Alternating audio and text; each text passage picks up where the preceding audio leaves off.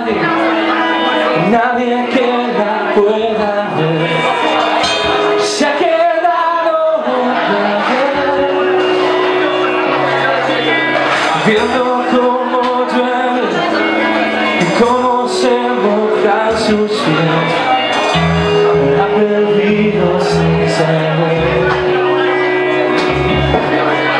lo que